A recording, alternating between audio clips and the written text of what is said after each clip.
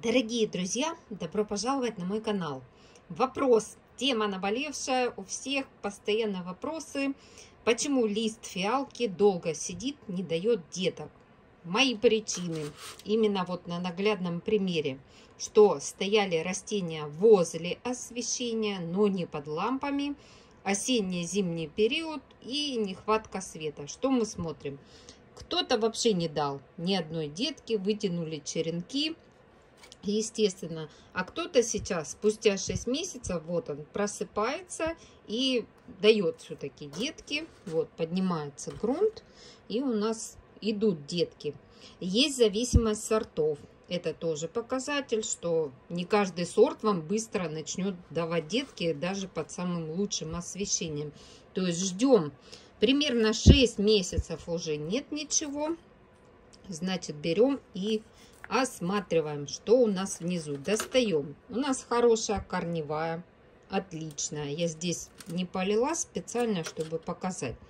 И аккуратно открываем вот эту часть. Посмотреть так называемую пятку. То есть, может, лист там и думает, может, вы его посадили слишком низко. Сейчас проверим, где я его посадила. Нет, не низко, и смотрим. Если нет образования у нас зачатков деток, вот, что здесь происходит, я уже не вижу ничего, что нам могло дать детку. Обрываем и смотрим. Вообще нет зачатков. То есть сам лист растет, он удлиняется, ему все отлично, хорошо. Хотя бедный грунт, никаких подкормок. И он не дал нам ни одной детки, ни одного зачатка. Вот. И пятки как таковой нет. Вот иногда бывает такой нарост большой. Тоже показывала видео, но это будет вот прям, смотрите, заходите, так и назову видео, почему лист не дает детку. Что мы делаем? Снова обрезаем вот так коротко. Многие еще ошибаются и режут ну вот, срезают немножко, где прислали, там срезали чуть-чуть, подрезали и все. Нужно как можно два с половиной сантиметра сделать, не больше трех. Все, это мы сейчас снова сажаем. Смотрим на второй лист. Что у него происходит? Этот я полила. Так, не запутываться, потому что все еще можно исправить и поправить. Иногда Листья стреляют цветоносами. Это тоже был разобран вариант, что ни одной детки одни цветоносы. Вот с третьего раза один сорт мне удалось вырастить, и сейчас растут детки уже. Так, ну вот она пятка, смотрите. Вот видите, нарост. Сейчас я обрываю. Нет ни единого зачатка. Она как даже какие-то себе тут клубни делает, но не делает фиалка, да, делает какой-то клубенек себе, наращивает, пятку так называемую, и ни одной детки у нее нет. А лист хороший, он живет, ему все нравится, все хорошо. Так что это мы тоже подрезаем. Я режу наискось, чтобы детки выходили у нас вот в этой стороне листа, не из-под листа, а в этой стороне.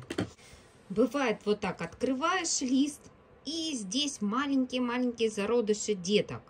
Тоже где-то показывала, что лист тогда немножко приподнимаем наверх, чтобы детки, но детки не как бы из грунта не отряхиваем, они все-таки сами должны пробиться.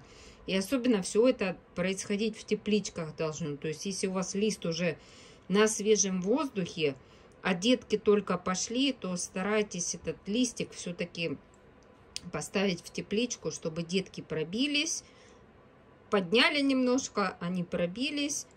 Как раз видео, может я вставлю ссылочку, там, где я вот новые мои в коллекции, дорогие листья укореняла. Я их светила хорошо, я за ними ухаживала хорошо. То есть все максимально для них сделала. Все они давали детки, но тоже неравномерно. То есть я смотрела, что ага, зачаточки пошли, значит, подниму его чуть-чуть повыше, и он уже выпускает эти детки. А вот один лист мне не давал деток и стрелял цветоносами. Три раза переукоренялся нормально. Сейчас хороших 21 детка. Вот он стрелял 27 цветоносов, потом 21 детка. Сейчас посмотрим, как расцветут и что будет дальше с этим сортом. Сортовая зависимость тоже есть. Так что, чтобы у нас хорошо росли детки сразу же, мы делаем подсветку хорошую. То есть у нас стоят контейнеры под подсветкой. 8 часов достаточно интенсивного света, интенсивного потока, чтобы у нас закладывались детки через полтора-два месяца они уже выпрыгивают. Если вы только не соблюдаете условия, что э, у вас освещения недостаточно в зимнее время, то вот такие результаты и получаются. Вот только пошла детка, кто там, Ле Шанталь. Тоже сорт отличный, все. Но может какому-то листу что-то не понравится. И вот он стрельнет вам то ли цветоносом, то ли вот какими-то клубнями наростами. Поэтому обрезайте, он способен еще раз дать нам потомство.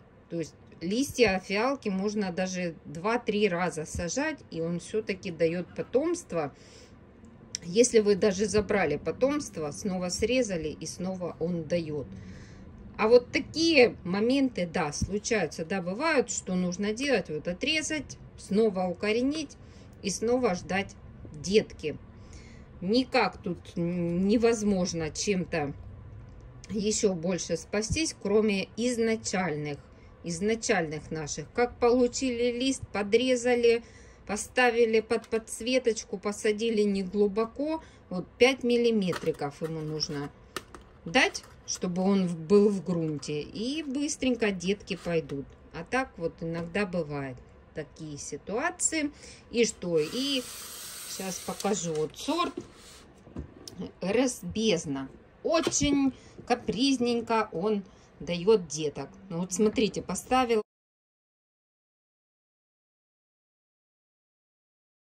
именно под подсветку сразу всех, вот они, через три месяца они начинают появляться. А иногда этот сорт через 6 месяцев не дает деток. Если будет стоять где-то без подсветки в глубине, вот каждый, каждый листик уже дает детки. Ну вот только через три месяца, то есть не сразу. Так, этот вот повел себя так и все-таки все равно из-под листа сделал себе детку. Надо сейчас отклонить ее куда-то в бок, чтобы они шли. Вот освободить немножко. Грунт подняли. Здесь, наверное, 2-3, а то и 5 деток. Конечно, сложновато будет. Сейчас отсюда надо их вот поднимать немножко, отодвигать, иначе они уперлись в этот лист.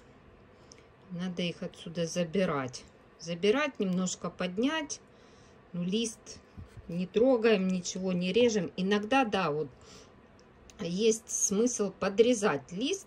Тоже наблюдала, есть такое, что детки начинают идти. Но если они не пойдут, а у вас уже срезанный лист, то не будет деток, они уже не смогут осилить. А когда вот смотрим, лист, чтобы сам лист не рос, вот сейчас в этом состоянии выпрыгнули детки, можно подрезать лист, чтобы все питание шло деткам. Так, все, да, на этом больше мне, в принципе, не о чем рассказать, что берем и вот так поступаем. Все условия создаем, все остальное, как говорится, на все воля Божья. Что сделает природа, что поможет нам сделать с этим листом, все я вам подсказала. Всем красивых цветов в доме и до новых встреч!